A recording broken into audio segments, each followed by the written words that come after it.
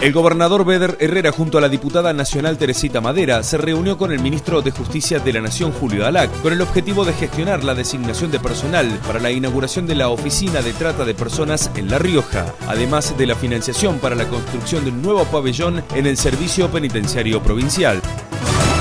El Ministerio de Desarrollo Social, en conjunto con el Instituto Nacional de Tecnología Industrial, llevó a cabo un taller de construcción de dispositivos de uso cotidiano para personas mayores y con discapacidad que contó con la presencia de la ministra Silvia Gaitán. Verdad que sí, una importante jornada con nuestros adultos mayores y que en este momento vemos cómo ellos, ante su conocimiento y la capacitación que han recibido, pueden ayudar y brindar este, la posibilidad de, de que los abuelos, que con mucha predisposición, este, ponen de manifiesto las ganas este, de poder realizarse estos elementos que son tan útiles a esta edad.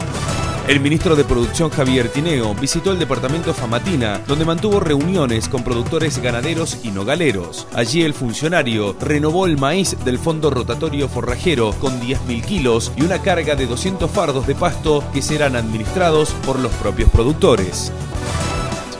Organizado por el Consejo Nacional de Bomberos y destinado a personal de las provincias de Córdoba, La Rioja, Mendoza, San Luis y San Juan, se realizó un curso de capacitación para brindar las herramientas necesarias para combatir incendios producidos en casas de familia, edificios o industrias.